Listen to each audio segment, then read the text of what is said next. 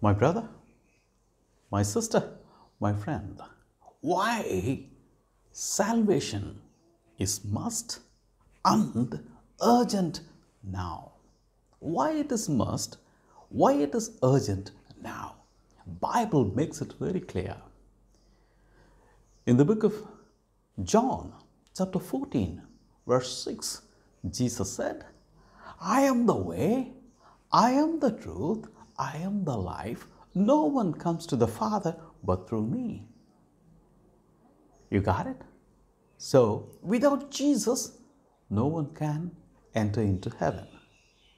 So, salvation is must because that only guarantees and gives us entry into life after death, which is eternal life, which is in heaven. So, salvation is a must for everyone. And now, why it is urgent now? Jesus himself told about his return in the book of Matthew, chapter 24, verse 36, saying that no one knows of the day or the time of his return except Father God in heaven. Not even the angels in heaven know about it.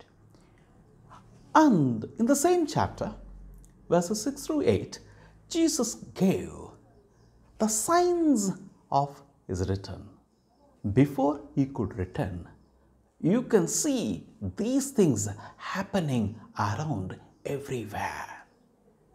It was wars and rumors of wars, nation against nation, kingdom against kingdom, famines, pestilences, and earthquakes. These six things are increasingly happening everywhere around us wars, nation against nation, kingdom against kingdom, famines, pestilences, and earthquake. These six things are happening everywhere, which is nothing but a wake up call saying that Jesus may return anytime now. My brother, my sister, my friend, wake up and receive Jesus as your Lord and Savior too, so that you too can enter into heaven when you are dead and gone. We never know what may be tomorrow.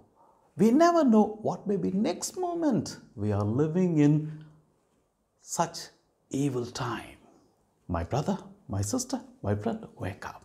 This is the reason salvation is a must, and this is the reason salvation is urgent now. Receive Jesus now so that you too can be pretty confident when you are dead and gone, you will end up in heaven. My brother, my sister, my friend, God loves you.